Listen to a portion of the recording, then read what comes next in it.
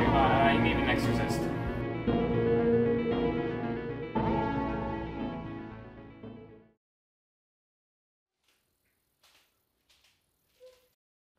Well, my name's Eric Watson, and this is my story.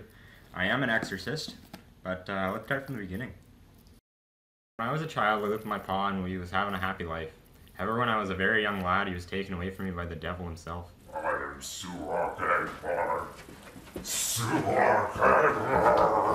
Daddy. His soul had been taken, but his body remained. He no longer was the pa I remembered. Well, the doctors tried pert near everything they could to fix him, but overall he was claimed mentally insane and was taken away from me.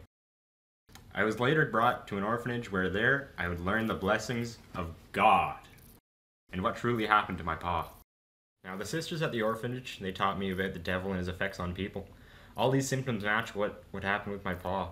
And after learning about the devil's ways, I vowed to never let that happen to my pa or happen to anyone else's ever again.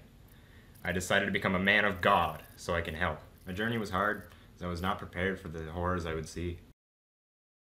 The first time I got the call to go to an exorcism, it didn't go well. I was not told what I was going to see when I walked into that house.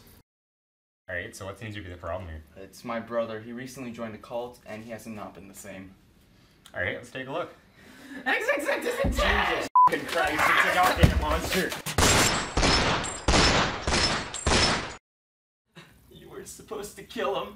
Well, for f sakes, bud, what do you expect? He was a fucking demon! Jesus Christ. No, I'm getting out of here, man. No more Colombian nights. I can't go back.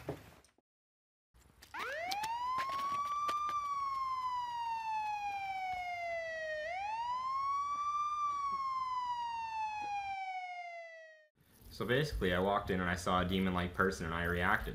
So my first attempt at an exorcism did not go as well as I expected. However, the next time I did a little better. Hey, another exorcism. Pitter patter. Holy shit.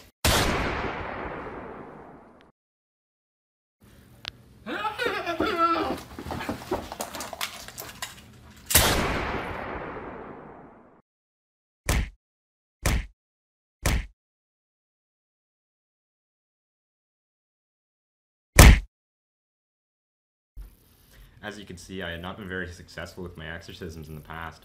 However, this part of my story is what changed things forever.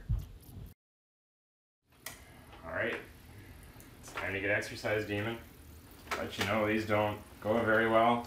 Nine out of the ten times you end up getting personal with Mr. 45 here, but maybe you should just choose a new profession. The only reason I got into this was to avenge my dad, I can't even get it right. You're a great listener, you know that. I am Suak Agbar. What was that? I am Suak Agbar. You! You did this! You're the reason why I'm in this in the first place! This was finally my chance to save my paw. I didn't know what came over me, but I suddenly knew exactly what I had to do. The path of the righteous man is beset on all sides by the inequities of the selfish and the tyranny of evil men. Blessed is he who protects and guards and shepherds the lost through the valley of darkness, for he is truly his brother's keeper and the protector of the lost. And you will know my name is the Lord when I lay my vengeance upon thee. In the name of the Father, the Son, and the Holy Ghost, I banish thee.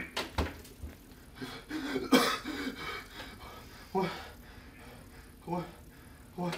What happened? Fucking race, boys, let's go! Now I know what you're thinking. Yeah, yeah, he, li- he lives happily ever after. Well.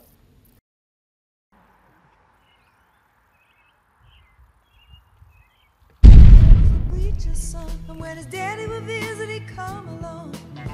When they gathered around and started talking, Cousin Billy would take me walking. Out through the backyard we go walking. Then he looked into my eyes. Lord knows to my surprise, the only one who could ever reach me was the son of a preacher man. The only boy who could ever teach me was the son of a preacher man. Yes, he was.